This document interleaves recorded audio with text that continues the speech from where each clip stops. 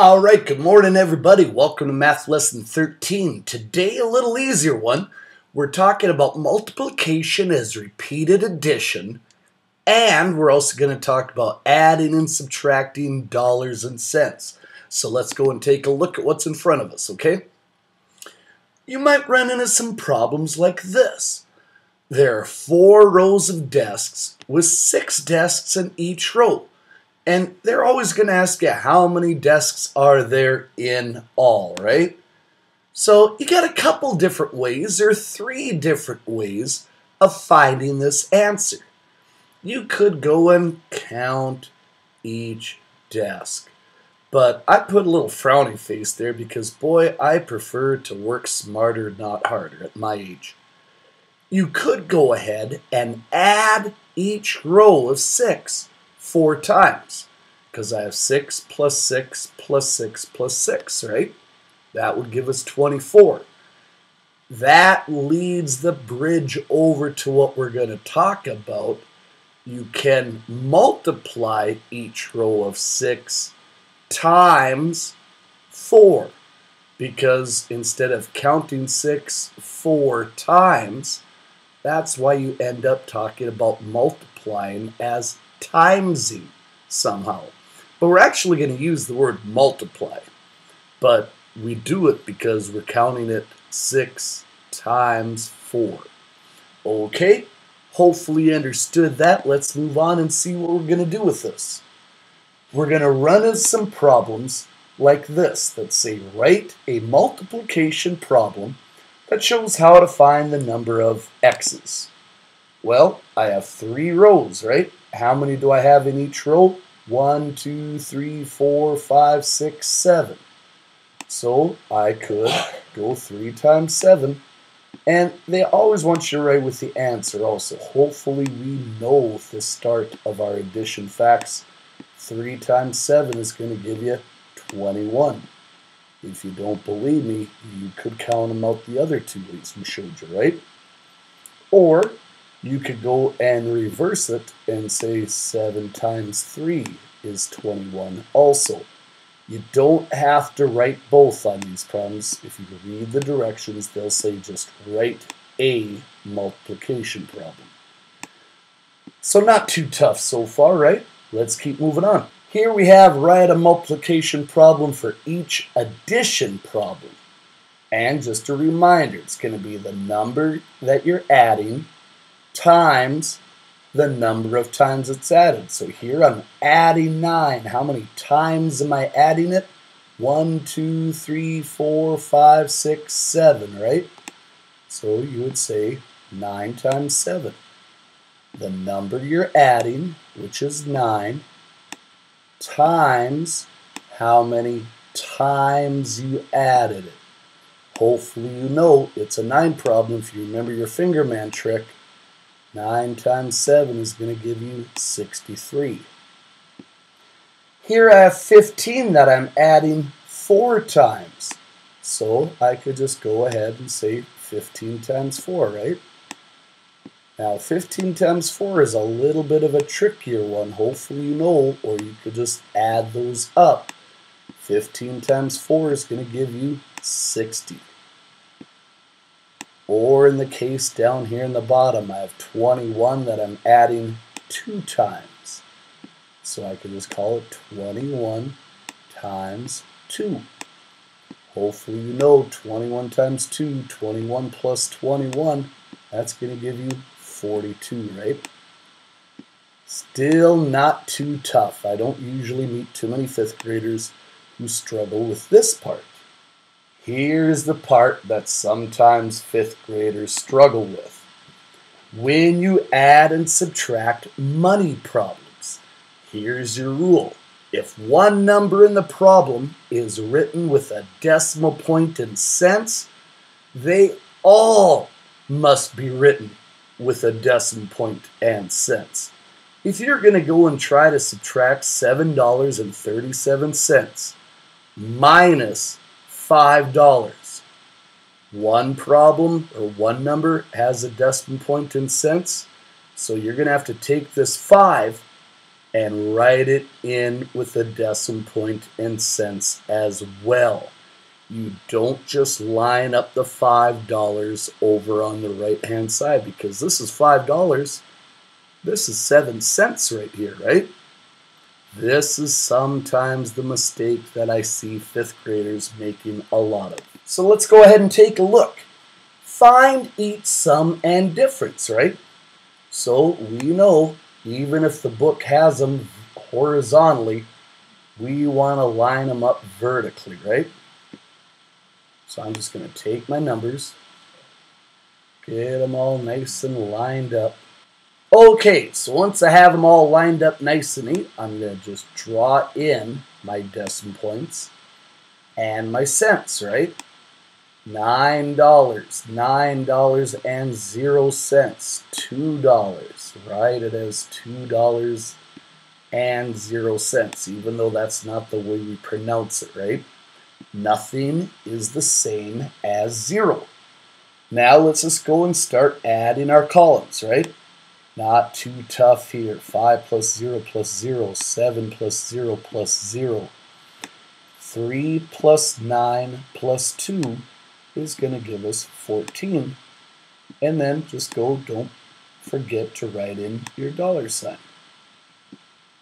Not too tough still, right? The trickiest part, if one of them has a decimal point, they all have a decimal point. Same one over here. Let's take a look. $8.19. Even though the book writes them out horizontally, we're going to set our guys up vertically, right? Once we have them written all in vertically, then if one of the numbers has a decimal point and cents, they all must be written with a decimal point and cents. So I'm just going to draw that in and get ready to subtract. 9 minus 0, hey, that's 9. 1 minus 0, that's 1. Not too tough so far bringing my decimal point straight down, and 8 minus 7 is also 1. Don't forget to go ahead and write in your dollar sign, right? Okay, let's keep moving on and see what else is in front of us. Check out this one. Mr. Hines walked five miles a day each day for four days. How far did he travel after four days? Hopefully, you know the answer. The trickier part is this may or may not show up where you would have to set it up as an equation with a variable. So, using our old sum plus some more plus some more plus some more, he walked five miles a day for four days.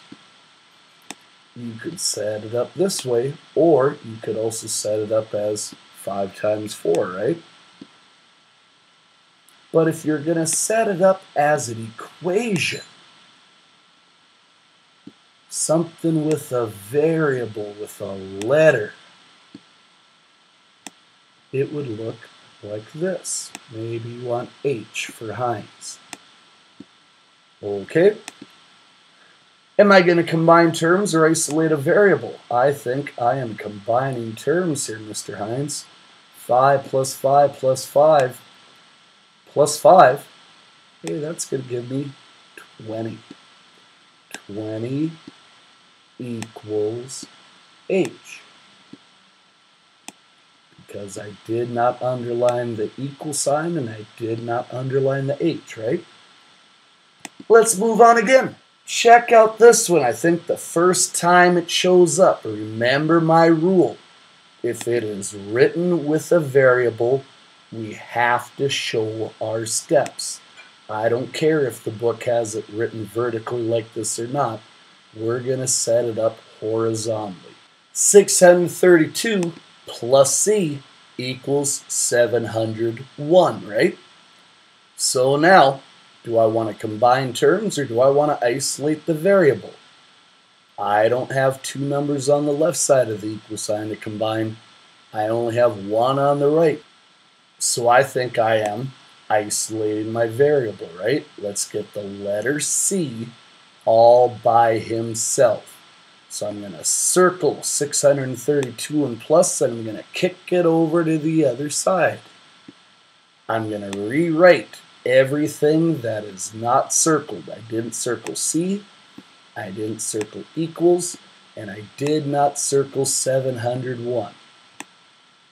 I'm going to write down everything that I did not circle first. Then I'm going to go and bring my plus that I kicked so hard I changed it into a minus, and then I'm going to write my 632.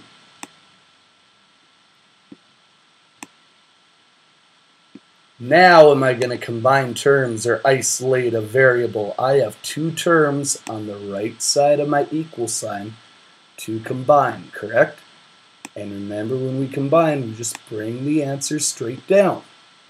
But we read our equations left to right. So I first have to ask myself, what's the first thing not underlined? That's C. Then equal sign is not underlined, but 701 minus 632 is. So this is where I may want my scratch piece of paper going.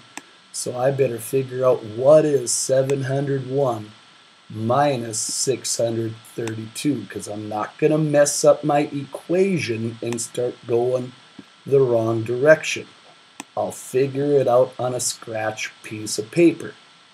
And hopefully you can figure out on your scratch piece of paper that that's going to equal 69. C is equal to 69. Showing all my horizontal steps. Check out this one. First time we've had one of these, so I figured I better talk about it. Jim bought two boxes of pencils, a pen, and a notebook. What was the total cost of the items? Here is the tricky part. It's more of a reader and paying attention. I don't think anybody's going to struggle with the math. He bought two boxes of pencils. Well, pencils are a buck fifty a box.